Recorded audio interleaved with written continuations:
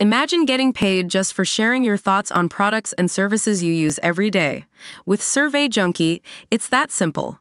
Click on the link in the video description to discover how you can start earning today by taking surveys. The family of a Vietnam veteran who came out as gay in his tear-jerking obituary has revealed why he lived his last years alone. Colonel Edward Thomas Ryan died from intestinal cancer at the age of 85 in his home in Albany, New York, after living in nearby Rensselaer for most of his life, where he served as a firefighter. In a final message to his loved ones and the world, published in the Albany Times Union, Ryan shared he had secretly lived as a gay man his entire life. I must tell you one more thing.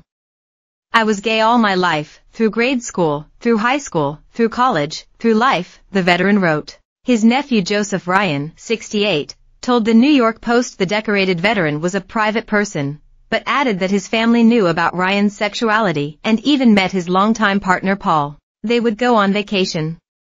Once he did retire, he would take a month off, and they would just put down where they wanted to go, any place in the world, Joseph Ryan said.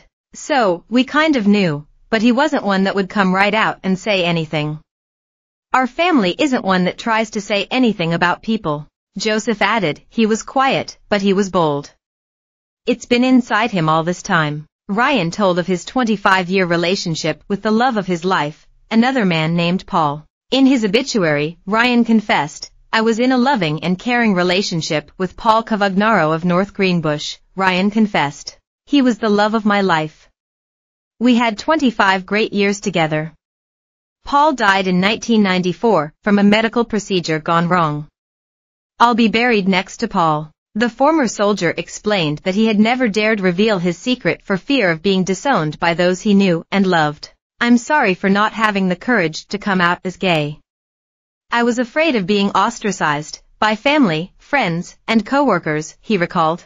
Seeing how people like me were treated, I just could not do it.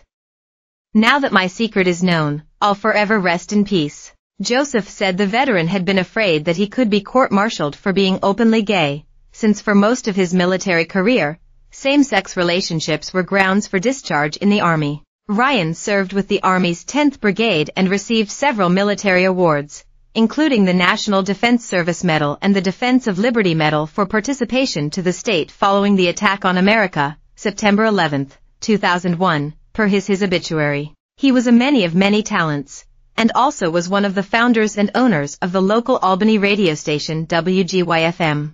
Additionally, he was a chef at the East Greenbush, American Legion Post, and a lifelong member of the Vietnam Veterans of America. Ryan is survived by his 14 nieces and nephews, who lovingly called him Uncle Ed. His obituary has gone viral, with people from all over the country touched by Ryan's story. One commenter on his obituary said, Edward sounds like he was an extraordinary man. Thank you for your service, not only to the country but to your neighbors. You were a true hero. I'm heartbroken you had to live your life in silence, but so happy to hear of your life with Paul. Another person said, as someone who didn't come out until 40, this obituary really pulled on my heartstrings. I hope Edward and Paul are reunited now, in love for eternity. Nobody should have to spend a lifetime hiding who they are and who they love. A third said, a brave man got braver. God bless Uncle Ed. A commenter named Chrissy Wills claimed to have met Ryan and his partner. Wills wrote, I met Tom when I married to his partner Paul's nephew. We enjoyed several holidays, dinners, picnics together. He was a true gentleman, and it was unfortunate that he felt he had to hide his being gay. He and Paul were a lot of fun together. May he finally be at peace.